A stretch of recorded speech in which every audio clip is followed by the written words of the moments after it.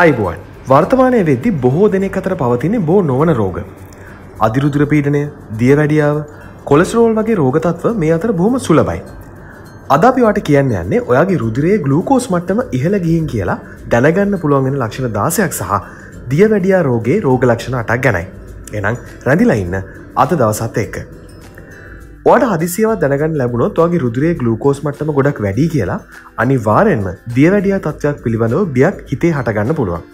හැබැයි දියවැඩියා තත්ත්වයක් හටගන්න කලින්ම වගේ රුදුරේ ගලූකෝස් මට්ටම සාමාන්‍ය අගේකට පත්කරගන්න තියෙනවනම් අන්න ඒක වගේ සෞඛ්‍ය තත්වය යහපත්ව තියාගන්න ගොඩක් වටිනවා. ඔයාගේ රුදුරේ තියෙන ගලූකෝස් මට්ටම වැඩි කියලා ශරීරයේ ඇතිවන ලක්ෂණ මගින් හඳුනාගන්න වට පුළුවන්කම තියෙනවා. මේ නිසා දියවැඩියා තත්ත්වයක් ඇතිවීම කලින් ඉඳම්ම වලක්ව ගන්න ඕට පුළුවන් වෙනවා. දියවැඩියාව කියලා කියන්න ගොඩක් දරුණු රෝග තත්ත්වයක්. දියවැඩිය රෝගය නිසා ඇස්පෙනීමේ දුර්වලතා ඒවගේම තුවාල සුව නොවීම වගේ දරුණු ලක්ෂණ ඇතිවෙන්න පුළුවන්. වර්තමාන ලෝකේ ජීවත්වන බොහොමයක් දෙෙන දියවැඩිය රෝගතත්වයෙන් පෙළෙනවා. මේකට හේතුවෙන්නේ වර්තමානය ජීවත්වන මිනිස්සුන්ගේ ආහාර රටාව. ඔයා ආහාරයට ගන්න බොහොමයක් කෑමවල වා නොහිතන විදිහට අධික ලෙස සීනි අඩංගු වෙනවා. එහින්දා වාට දියවැඩිය තත්ත්වයක් ඇතිවෙන්න තියෙන අවධානම ගොඩක් වැඩි.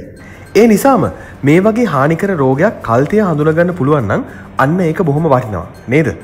අද අපි ඔයාලට කියන්න යන්නේ රුදුරේ ගලූකෝස් මට්ටම වැඩි කියලා හඳුනගන්න පුළුවන් ශරීර ලක්ෂණ දාසයක් ගැනයි. මේ කාරණාවන් ගැන ඔයා හොඳින් අවධානය යොමු කළොත් ඔයාලටත් පුළුවන්කම තියෙනවා දිය වැඩියා තත්ත්වයන් ඇතිවීම වලක්වා ගන්න. අංක දාසය. නිතර නිතර මුත්‍රා කිරීම සහ රාත්‍රී කාලයේදී මුත්‍රා කිරීම. සාමාන්‍යයෙන් නින්දට යන්න කලින් ඔයා වතුර ගොඩක් පානය කරනවා නම්. අනිවාරයෙන්ම රාත්‍රයේදී මුත්‍රා කිරීමට තියෙන අවශ්‍යතාවය වැඩි වෙනවා. හැබැයි වගේ රුදුරේ තියෙන ගලූකෝස් මට්ටම ඉහළ ගිහාම වගේ වකුගඩු ආශ්‍රිත ආසාධන තත්ත්වය නැතිවීමේ ඉඩකඩ වැඩි. මෙන්න මේ වගේ වෙලාවට නිරන්තරයෙන් මුත්‍රා පිට කිරීමේ අවශ්‍යතාවය වට ඇති වෙනවා. විශේෂම රාත්‍රී කාලයේදී නිරන්තරයෙන් මුත්‍රා පිට කිරීමට අවශ්‍ය වෙනවා. ඔයාගේ රුද්‍ර ගලූකෝස් මට්ට මිහලයාමේ ලක්ෂණයක් තමයි නිතර නිතර මුත්‍රා කිරීමට අවශ්‍යවීම. අංක පහලව. ඇස්පෙනීම බොඳ වී යාම. ඕට තේරෙනවනම් වගේ ඇස්පෙනීම වෙනතට වඩා ටිකක් බොඳවුණු ස්වභාවයක් තියෙනවා කියලා වා අනිවාරෙන් මේ ගැන අවධානය දෙන්න ඕනේ. මොකද දිගින් දිගටම මේ වගේ වගේ ඇස්පෙනීමේ තත්වය බොඳ වෙන ස්වභාවයක් ගන්නවන මේකට හේතුව වගේ රුදිර ගලූකෝස් මට්ටම ඉහලයාම වෙන්න පුළුවන්. රුදුරේ තින ගලූකෝස් මට්ටම ගොඩක් ඉහළ ගිහාම ඇහේ කාචය විශාල වෙනවා. මෙන්න මේ නිසා ඇස්පෙනීම බොඳවුණු ස්වභාවයක් ගන්නවා. මේ නිසා මේ වගේ රෝගලක්ෂණ තියෙනවනම් අනිවාරයෙන්ම වගේ රුදිර ගලූකෝස් මට්ටම පරීක්ෂා කර ගැනීම අනිවාර්ය වෙනවා. අංක දාහතර. විවිධ කාරයන් සඳහා අවධානය යෙදීම අපහසුවීම. රුදුරේ ගලූකෝස් මට්ටම ඉහල යන්නේ වගේ ශරීරයේ තියෙන ඉන්සිියලීන් ප්‍රමාණය අඩුවනාමයි. වගේ රුද්‍රයට යන ඉන්සිියලින් ප්‍රමාණය අඩුවෙද්දී සයිලවලට ගමන් කන ගලූකෝස් ප්‍රමාණයක් අඩුවෙනවා. එතකොට සයිලවලට තමන්ගේ කාරයන් හරියාකාරයෙන් ඉටු කරගන්න බැරි වෙනවා. මෙන්න මේ හේතුව නිසා ඕනෑම කාරයක් සිදුකිරීමේදී වට අධික වෙසක් දැනෙන්න පුළුවන්. ඒ වගේම තමයි වා කරන කිසිම වැඩක් හරියට අවධානය දීල කරන්න බැරි වෙනවා.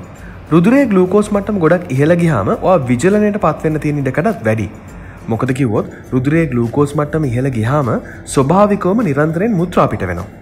මේ හරහා ශරීරයේ වැඩිපුර තියෙන ගලූකෝස් පිට කරන්න ඔයාගේ ශරීරය උත්සාහ කරනවා. එතකොට වගේ ශරීරයේ තියෙන ජලය ප්‍රමාණයක් හානි වෙනවා. ඒ නිසා ශරීරයේ ගලූකෝස් ප්‍රමාණය ඉහළ යනවා කියලා කියන්නේ වාට විජලනය වගේ තත්ත්වයක් ඇතිවෙන්න තියෙන ඉඩකටත් වැඩි කියන එක. අංක දාහතර. මුව සහ තොල් වියලීම. වගේ රුදුරේ තියෙන ගලූකෝස් මට්ට මිහලයාම නිසා වගේ තොල් සහ මුව අධික ලෙස වියලීමකට ලක්වෙන්න පුළුවන්. අංක දොළහා. ලිංගික බෙලහීනතාවය. මේ තත්වය ගොඩක් වෙලාවට ඇතිවෙන්න පිරිමි පාර්ශවයට. වගේ රුදුර ගලූකෝස් මට්ටම වැඩිවුණොත් වගේ රුදිර වාහිනිසා ස්නායු හානිවීමකට ලක්වෙන්න පුළුවන්. ඒ වගේ වෙලාවට ලිංගික වෙලහිනතාවය ඇති වෙනවා. මේහින්දා වගේ රුදිරේ ගලූකෝස් මට්ටම ඉහළ ගිහින් කියන තත්වය ගැන ලක්ෂණයක් ඇති වුණොත් ඒ කියන්නේ ඒකෙන් ලිංගික බෙලහිනතාවයක් ඇතිවෙන්න පුළුවන් කියන එකයි. අංක එකොළහා. දිගුකාලීනව ඇතිවෙන ආසාධන තත්ව. ඔයාගේ රුදුරේ ගලූකෝස් මට්ටම ඉහලයන්න හේතුව තමයි වගේ අග්න්‍යාශය හරියාකාරව ඉන්සිියවලීන් කියන හෝමෝනය නිපදවන්න අසමත්වීම. ඒ කියන්නේ අග්න්‍යාශය වගේ අවයාවයක මොකක් හරි ආසාධන තත්වයක් ඇති වුණොත් වගේ රුදුරේ ගලූකෝස් මට්ටම ඉහල යනවා. එනිසා වාට උදරය ප්‍රදේශාශතව අධික වේදනාවක් ඇතිවෙනවනම් ඒක රුදුරේ ගලූකෝස් මට්ටම ඉහලයාම නිසා සිදුවෙන්න පුළුවන්. අංක දහය. තුවාල සුවවීමට වෙනදට වඩා කාලයක් ගතවීම. රුදුරේ ගලූකෝස් මට්ටම ගොඩක් වැඩිවුණහම තුවාල සුවයන ගතවන කාලය ගොඩක් වැඩි. එහින්දා ඕටත් මේ තත්ව ඇති වෙලා තියෙනවනම් රුදුරේ ගලූකෝස් මට්ටම වැඩි වෙලා කියලා සැක කරන්න අටත් පුළුවන්. අංක නමය ආමාශය ඇතිවෙන විධ රෝගා බාධ. ඔයාගේ රුදුරගත ගලූකෝස් මට්ටම වැඩිවීම නිසා ඔයාගේ ආමාශයේ විධ ආබාධ ඇතිවෙන්න පුළුවන්. මේ නිසා විවිධ ආමාශගත වේදනාවන් වගේම ආසාධන තත්ත්වයන් වමනය වගේ තත්වත් ඇතිවෙන්න පුළුවන්. අංකාට නිරන්තරයෙන් ඇතිවන අධික වෙහෙසකාරී බව. ඔබේ ශරීරයේ තියෙන ගලූකෝස් ප්‍රමාණය අඩු වුණාම නිරන්තර නිදිමත ගතිය සහ ආතතිමය ස්වභාවයක් ඇතිවෙන්න පුළුවන්. වගේ රුදුරේ තියෙන ගලූකෝස් මට්ටම වැඩිවුණහම විවිධ රෝගතත්වයන් වලට එරෙහිව ක්‍රියා කරන තියෙන හැකියාවත් අඩු වෙනවා. මේ නිසාම අධික වෙහෙසක් වාට දැනෙන්න පුළුවන්. අංකහත අධික පිපාසය ඔයාගේ රුදුර ගලූකෝස් මට්ටම ඉහළ ගිහාම ස්වභාවික ඔයාගේ වකුගඩුවල කාරය ප්‍රමාණය වැඩි වෙනවා. ඒ කියන්නේ වගේ රුදුරේ තියෙන ගලූකෝස් මට්ටම වැඩිවුනාම වගේ වකුගඩු උත්සාහ කරනවා නිරන්තරයෙන් පෙරීමේ ක්‍රියාවලිය වේගවත් කරලා ශරීරයේ වැඩිපුර ගලූකෝස් මුත්‍රා හරහා පිට කරන්න. මෙන මේ නිසා ඔට නිරන්තරයෙන් වතුර පිපාසය ඇතිවෙන්න පුළුවන්. අංක හය සමය ඇතිවන කැසීම් ඔයාගේ ශරීරයේ රුදිර ගමනාගමනය දුර්වල වුණහම වගේ සමය කැසීම ඇතිවෙන්න පුළුවන්. ගොඩක් වෙලාවට වගේ කලව ප්‍රදේශය නිරතුරුවම කැසීම රුදුරේ ගලූකෝස් මට්ටම වැඩිවුණා කියන සංඥාවක් වෙන්නත් පුළුවන්. අංක පහ හැම වෙලේම කුසගින්නෙන් පෙලීම ඔය ආහාරවලට ගොඩක් රුචි කෙනෙක් වෙන්න පුළුවන් හැබැයි අපි මේ කියන්න යන්නේ ඒ වගේ අවස්ථාවක් ගැන්න නෙමේ ඔයාගේ ශරේරේ ඉන්ක්‍රීටීන් කියෙන හෝමෝනය අඩුනම් සාමාන්‍ය තත්වයට වඩා නිරතුරුවම බඩගින් ඇතිවෙන්න පුළුවන් ඉන්ක්‍රටින් කෙන හෝමෝනයෙන් කරන්නේ අපි ආහාරගත්තට පස්සේ අක්මාවෙන් ගලූකෝස් රුදුරයට එකතුවීම ප්‍රමාද කිරීමයි ඒ කියන්නේ ඔයාගේ ඉන්ක්‍රටීන් කියෙන හෝමෝනය අඩුනම් අක්මා වරහා රුදුරයට බොහොමයක් ගලූකෝස් එකතු වෙනවා. ඒ වගේම තමයි මේ හේතුවෙන් වාට නිරන්තරයෙන්ම කුසගින්නත් දැනෙන ගන්න. අංක හතර උදරය අධික තරබාරු බව.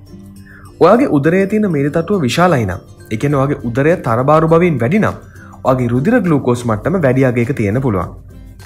අංක තුන ස්නායුවල ඇතිවන ගැටලු ඔයාගේ රුදුර ගලූකෝස් මට්ටම සාමාන්‍ය ප්‍රමාණයට වඩා වැඩිනම් ස්නායුවලට ඔක්සිජන් සහ පෝෂණ ද්‍රව්‍ය අරන් යන රුදිර වාහිනීවලට හානි වෙන්න පුළුවන්. මේ නිසා වගේ ස්නායවාශිත විධාකාරය ගැටලුත් ඇතිවෙන්නවාට පුළුවන්. අංක දෙක සමේ ඇතිවන වෙනස්කම්. ඔයාගේ මුහුණ ඒවගේම බෙල්ලට පහලින් සහ අත්වල විවිධාකාරයෙන් අඳුරු පැහැති පැල්ලම් ඇති වෙනවන. අන්න ඒකත් වගේ රුදිර ගලූකෝස් මට්ටම ඉහල යනවා කියලා ඔයාට තේරුම් කරන ලක්ෂණයක්. අංක එක අතපය හිරිවැටන ස්වභාවය ඔයාගේ රුදුරගත ගලූකෝස් මට්ටම ඉහලයාම හින්දා ස්නායුවලට හනිවෙන්න පුළුවන් කියලා අපි කලිනුත් කිව්වා ඉතින් මේක ප්‍රතිඵලයක් විදිහට වගේ අතපය නිරන්තරයෙන් හිරිවැටීමකට ලක්වෙන්න පුළුවන් ඒ හින්දා මේ වගේ ලක්ෂණයකි නොවා පීඩා විදිනවනම් අනිවාරෙන්ම වගේ රුදිර ගලූකෝස් මට්ටම මැනගන්න ඕනේ දැන් අපිට කියන්න යන්නේ දිය වැඩියා තත්වයක් වාට තියෙනවාද කියලා දැනගන්න පුළුවන් ලක්ෂණටක් ගැන අංකාට වෙහෙසකර බව සහ අධික කුසගින්න දියවැඩිය තත්වයක් ඇතිවෙනකොට වගේ ශරීරයේ ඉන්සිවලින් කියන හෝමෝනය නිපද වෙන නැති තරම්. සාමානයෙන් අපේ ශරීරයට ශක්තිය ලැබෙන්නේ අපි ගන්න ආහාර ගලූකෝස් බවට හැරිලයි. ඒ ගලූකෝ සයිලවලට ගියපු හම තමයි මේ ශරීරයට අවශ්‍ය කරන ශක්තිය ලැබෙන්නේ. හැබැයි මේ කාරය වෙන්න ඉන්සිවලින් කියෙන හෝමෝනය අත්‍යවශ්‍යයි. ඉතින් දියවැඩිය තත්වයක් ඇතිවුණහම ශරේරයේ ඉන්සිවලින් ප්‍රමාණය බොහොම අඩු වෙනවා. මෙන්න මේ හින්දා වගේ සයිලවලට ලැබෙන ගලූකෝස් ප්‍රමාණයක් අඩු වෙනවා. මේ නිසා නිරන්තර වෙහෙසකර බවක් සහ අධික කුසකින්න වාට ඇතිවෙන්න පුළුවන්. අංකහත වැඩි වාර ගණනක් මුත්‍රා පිටවීම. දියවැඩිය තත්වයක් ඇතිවුණහම සාමාන්‍ය වාරගාන්ට වඩා වැඩි වාරගානක් දිනකට මුත්‍රා පිට වෙනවා. සාමාන්‍ය නීරෝගී පුද්ගලෙත් පැය විසිහතරක් ඇතුළත හයහත් සැරයක් මුත්‍රා පිට කරනවා. හැබැයි මේ වාරගාන බොහොමයක් ප්‍රමාණයකින් ඉක්මවලා වාට දියවැඩිය තත්වයක් ඇතිවෙලා තියෙනවා කියලා සැක කරන්න පුළුවන් තරමට යනවනම් වැඩිවාරගානක් මුත්‍රා පිට වෙනවනම් එහෙනම් ඔයා අනිවාර්යම සැලකිලිමත් වෙන්න ඕනේ. අංක හය අසාමාන්‍ය විදිහට ශරීරයේ බර අඩුවීම. දියවැඩිය තත්වේදි ශරීරයෙන් අධික ලෙස මුත්‍රා පිට වෙනවා. මේහින්දා වගේ ශරීරයේ තියෙන ගලූකෝස් ප්‍රමාණය මුත්‍රාහරවා පිට වෙනවා වගේම මේ හේතුවෙන් වගේ ශරීරයේ තියෙන කැලරි විශාල ප්‍රමාණයක් හානි වෙනවා. මේ තත්ත්වය හින්දා වගේ ශරීරයේ බර අසාමාන්‍ය ලෙස අඩුවෙන්න පුළුවන්. අංක පහ මුව සහ තොල් වියලීම දියවැඩිය තත්වයකෙද අසාමාන්‍ය ලෙස ශරීරයෙන් මුත්‍රා පිටවීම නිසා වගේ ශරීරයේ තියෙන ජල ප්‍රමාණයක් අඩුවෙනවා. මේ හින්දා වගේ සම වියලීමට ලක්වෙන ඉඩකට තියෙනවා. ඒ නිසාම නිරන්තරයෙන් වගේ තොල් සහ මුව වියලීම සිද්ධ වෙනවා. අංක හතර. ඇස්පෙනීම බොඳවීම දියවැඩිය තත්වයක් නිසා ගලූකොමා තත්ව ඇතිවෙන්න පුළුවන්. ඒ හේතුව නිසා වගේ ඇස්පෙනීම බොඳ වෙන්න ඉඩකඩ තියෙනවා. අංක තුන. තුවාල සුවවීම ඉතාම ප්‍රමාදවීම දියවැඩියාව නිසා රුදිරගත ගලූකෝස් මට්ටම බොහොම ප්‍රමාණයකින් ඉහළ යනවා. මේ හින්දා ඔයාගේ ස්නායුවලට හානි වෙනවා. මේ කාරණාව හේතුවෙන් තුවාලයක් ඇති වූ විගස ය සුව කරන්න වගේ ශරීරයට නොහැකි වෙලා යනවා. අංක දෙක අත්සාහ කකුල් පණ නැතිවීම. දියවැඩිය තත්ත්වය හින්දා ස්නායුවලට හානිවීම නිසා අත් පය පණ නැති ස්වභාවයක් ගන්න පුළුවන්. මේ නිසා ඔයාගේ අත්පා හිරිවැටීමකට ලක්වෙන්න පුළුවන්. අංක එක සමය විවිධ ස්ථානවල අඳුරු පැහැති පැල්ලා ඇතිවීම. දියවැඩියාව නිසා ඇකැන් තොසිස් කියන තත්ත්වය හැටගන්නවා. මේ හේතුවෙන් වගේ බෙල්ල සහ පිට ආශිත ප්‍රදේශන් වල විධ අඳුරු පැහැති පැල්ලම් ඇති වෙනවා. දැනට කරනලද පර්ේෂණවලට අනුව ඇමරිකා එක්සත් ජනපදය ජීවත්වන ජනගානයෙන් මිලියන තිහයි දශම තුනකටම දිය වැඩියා තත්වය තියෙනවා. මෙන්න මේ ජනගානයෙන් බොහොම දෙනෙක් තවමත් දන්නේ නැහැ එයාලට දිය වැඩියාව හරිහට තියෙනවා කියලා. එකට හේතුවෙන්නේ දියවැඩිය තත්වය නැතිවීමේ ලක්ෂණ කෙරෙහි හරියාකාර අවධානයක් ලබා නොදීම. හැබැයි මේ වගේ ලක්ෂණ කෙරෙහි හරි අවධානයක් දුන්නොත් ඔයාටත් පුළුවන්කම තියෙනවා දිය වැඩිය තත්ත්වය ඇතිවීම වලක්වා ගන්නත් නීරෝගී දිවියක් පවත්වා ගන්න. ඉතිං අදත් මේ වීඩියෝ වටිනවා කියලා වැදගත් කෙලවාට හිතුන නම් අනිවාරය මේ වීඩියෝ එක ලයි එකක් දාලා තවත් කෙනෙකුට මේක පේනශයා කරන අමත කරන්න එපා. ඒවගේමයි තාමත්වා අදදස YouTube චනල එක සබස්ක්‍රයිබ් කල නැත්තම් දැම්ම සබස්ක්‍රයිබ් කරන්න. ඒවගේමයි ඊට හැපත්වෙන් බෙල්ලයි කෙනෙක කලික්කරොත් තමයි වාට අපි වීඩියෝ එකක් දාපු සැනින් නොටිෆිකේෂන එක මුලින්ම ගන්න ගන්න පුළුවන් වෙන්නේ. ඉතිං මෙවගේ වටින කියන තවත් වැදගත් වීඩියෝවකින් අපි ඉක්මනින්ම බොහමුයනවා. එතෙක් ඔබට සුබදවසක් අයිබුවන්.